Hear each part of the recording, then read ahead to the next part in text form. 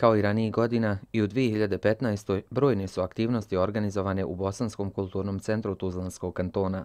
U ovoj godini izvedeno je 35 predstava, organizovane 33 koncerta, 5 festivala, 15 izložbi, 9 promocija knjiga, 16 projekcija filmova i 177 ostalih scensko-kongresnih događaja. Sve sto brojevi koji dovoljno govori o uspješnosti ove godine kada je u pitanju Bosanski kulturni centar Tuzlanskog kantona. U Bosanskom kulturnom centru imali smo i neke vlastije produkcije kao, predstavu, kao što je predstava za, za djecu, zatim naša tradicionalna aktivnost u osmo bijenale umjetnosti i minijature Bosne i Hercegovine, jedna od najznačajnijih likovnih manifestacija, ali isto tako veliki broj izložbi, koncert Safeta Dedajića i još mnogi, mnogi, mnogi koncerti.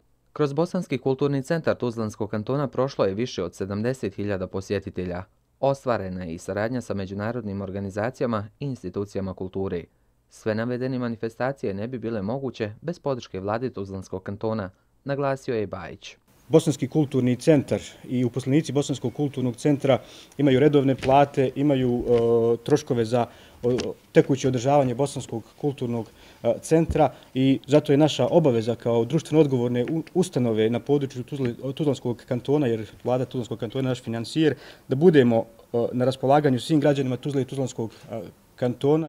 I naredne godine u ovoj ustanovi kulture bit će bogat program. Koncerti, predstave, promocije knjiga, izložbe i slične manifestacije bit će u fokusu i 2016. U narednoj godini e, priredit ćemo i jedan koncert iznenađenja za naše dame 8. marta. Već smo dogovorili koncert Divanhane 18. marta. E, u, pregovori, u završnim pregovorima smo za e, koncert Amirije Medunjanin. U januaru će biti organizovane dvije izložbe, a u prvoj polovini godine, pored brojnih koncerata, u ovoj ustanovi planirano je i nekoliko festivala.